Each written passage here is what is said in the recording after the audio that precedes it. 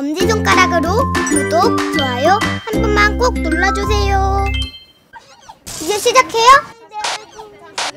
네, 저는 어린이 기자 이기자입니다. 지구를 지키는 어린이집이 있다는 소식을 듣고 이 어린이집에 찾아왔는데요. 정말 지구를 지키는 어린이집이 맞는지 확인해 보겠습니다.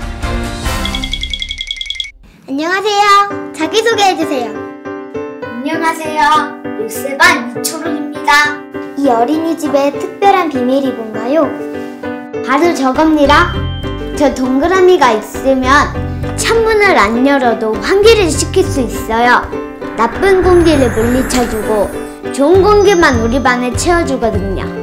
라떼는 히터 때문에 건조해서 기침하는 친구들도 많고 미세먼지 심한 날엔 기침이 더 심했거든요.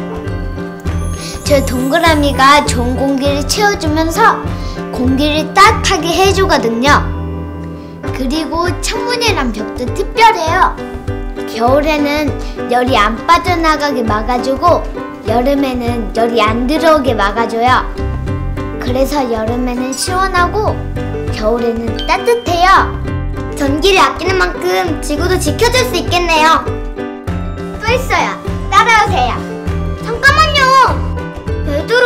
어디로 튈지 모른다니까요. 여기는 옥상 놀이터잖아요. 뭐, 나 때도 이런 놀이터는 있었거든요. 글쎄요. 이건 없었을걸요? 저게 뭐죠? 햇빛을 모아서 전기로 모아주는 태양광 패널이에요. 여기서 만드는 전기로 불도 켜고 에어컨도 켜고 히터도 켜고 다할수 있어요. 왜 지구를 지키는 어린이집인지 이제 알겠네요. 지구도 지켜주고 후배님들 건강도 지켜주는 어린이집을 확인해봤습니다. 이렇게 어린이집을 바꾸는 것을 그린 리모델링이라고 한대요. 라떼는 왜 이런 게 없었을까? 아쉽네요. 그럼 앞으로 이런 어린이집들이 많아질 수 있게 그린 리모델링 다 함께 외쳐볼까요?